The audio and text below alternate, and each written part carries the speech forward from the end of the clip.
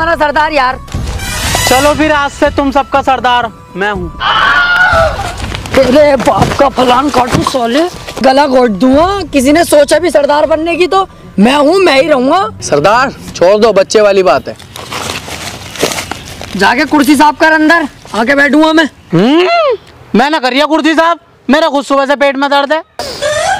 अब तो भैया कुर्सी साफ़ करने को कह रही हूँ वो तो कर सके कुर्सी साफ़ बस। अरे तुम्हें पता सुबह से कितने उल्टी दस्त हो गए? देख रहा हूँ इसकी अभी सरदार बनने को कह रही है तभी से उल्टी दस्त न हुए। लो लकड़ी फेरो साले पे। Drill and drill and